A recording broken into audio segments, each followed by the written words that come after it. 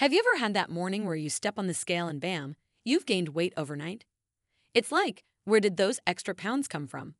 While gaining a bit after a vacation or slacking on workouts makes sense, gaining weight out of the blue can feel like there's some mysterious force at work. But fear not. Weight fluctuations are super common, especially when your diet includes water and juice. Today, we're diving into all the reasons why you might see sudden weight gain. Whether it's sneaky sodium, late night munchies, carb overload, new meds, or even a lack of exercise, stick around because we're covering it all. You ate more sodium than you usually do. You ate more sodium than you usually do. Your body may retain excess water for a few reasons, but the most likely is related to your sodium intake. If you eat more sodium than normal on a given day, your body will retain more water. Some people are more sensitive to this. For example, if you typically eat very fresh, whole, clean foods and work out regularly, and then forego a workout and eat a super salty meal, chances are your weight fluctuation will seem more drastic than someone who typically eats more salt. Mild dehydration can also cause your body to retain fluids. It sounds counterintuitive, but drinking more will help your body get rid of fluids more efficiently and flush excess sodium. For most fluid related weight gain, assuming you go back to your normal eating and drinking habits, the weight gain should really only last 24 to 48 hours. You are constipated. You are constipated. As you eat throughout the day, your weight may increase a few pounds until the next time you effectively empty out your bowels. If things are a little backed up, not only will you feel and look bloated, but your body will contain more weight than if you were to efficiently clear out the old to make room for the new. Make sure you're eating enough fiber, staying hydrated, and keeping active so that your bowels can do their thing. You worked out too hard. You worked out too hard. After a heavy workout, especially if you perform big, compound movements that recruit a lot of large muscles, you can easily weigh a few extra pounds for several days. Those microscopic tears that occur in your muscle cells after every workout heal through a process of natural inflammation. That involves some pooling of fluids around the muscle cells, which can make you puff up. This does not mean you should skip those calorie torching strength moves. Just let your muscles recover and forget about the scale. You drink a ton of water. You drink a ton of water. It's true that staying well hydrated is a good move if you're trying to lose weight. But the first few days of upping your water intake could actually cause the number on the scale to creep up too. This is because weight is not just the measurement of fat in your body. It is the weight of your bones, organs, muscles, fluid, and waste. When you're dehydrated, you actually weigh less, but that doesn't mean you are healthier. Let's say you don't drink much fluid one day, and the next morning you wake up and your weight is down. Then you drink a ton of water, and the next day it looks like you gained two pounds. That does not mean you gained two pounds of fat. It just means that your body was depleted of water the day before. You ate more carbs than usual. You ate more carbs than usual. Though carbohydrates are not the enemy of weight loss, eating an unusual amount of them over the course of one day or even a few days can make it seem like you've gained weight. Carbohydrates can result in water weight showing up on the scale. This is why people lose weight faster initially on a lower carbohydrate diet. The body doesn't hold onto the extra water. It's also why people may gain weight quickly when they eventually go off that lower carbohydrate diet. That water weight comes back and the scale bounces up. It's the weekend, it's the weekend. One study found that people's weights tended to go down during the work week, hitting their lowest point on Friday morning. Weights went up over the weekends to their highest point on Monday mornings. People who lost weight overall still followed this pattern.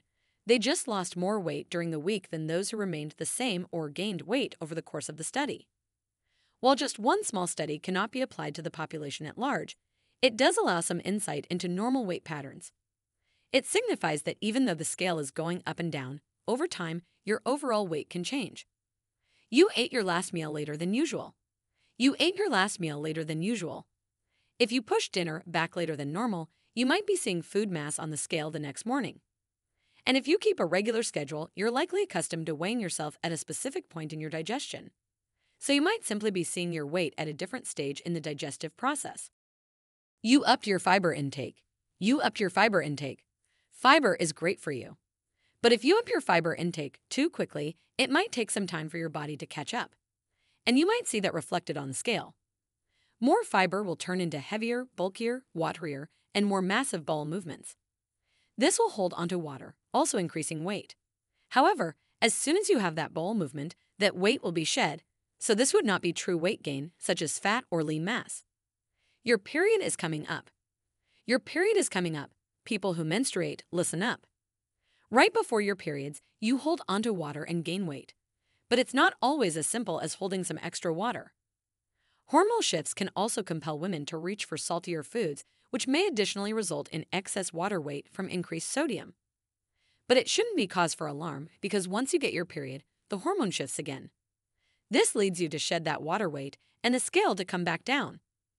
You switch to intermittent fasting. You switch to intermittent fasting. There are plenty of studies that show the benefits of intermittent fasting. One such benefit is getting to consume larger meals, since the eating window is smaller. But if you just started eating this way and ate a bigger meal than usual, the scale could jump temporarily. And while several factors on this list may be contributing weight gain, it could also be something you never considered.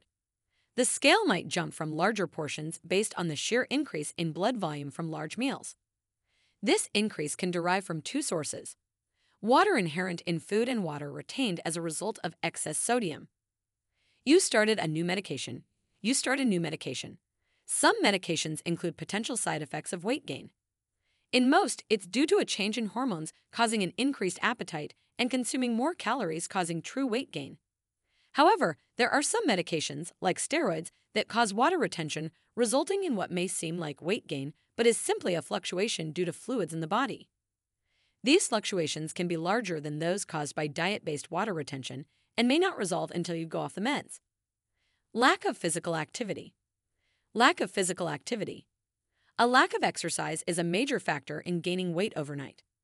During the night, your body makes use of the energy stores to repair damaged cells, build up new muscles, and replenish the body after physical activity. But if you haven't been doing any physical activity, all the excess calories in your body will simply be stored as fat, leading to weight gain. Make regular exercise a part of your daily life in order to get better quality sleep each night. Late night snacks. Late night snacks. We all know about the rule of not eating after 6 p.m., but it doesn't stop us from late dinners or midnight snacks. However, studies remind us that eating late leads to weight gain. Additionally, it may increase cholesterol, insulin levels, and negatively affect our hormonal markers. Remember that if your calorie intake is much bigger than what you're burning, it eventually leads to weight gain. You didn't sleep well. You didn't sleep well. A healthy amount of sleep is about 7 to 8 hours per night. But if it's less than this on a daily basis, that's when many health problems begin. Studies have proven that there's a link between sleep deprivation and negative changes in metabolism. Another decisive factor might be that not having enough sleep leads to fatigue, less physical activity, and more weight gain. Have you faced overnight or rapid weight gain? Was it due to any of the reasons we mentioned? Let us know in the comments section below.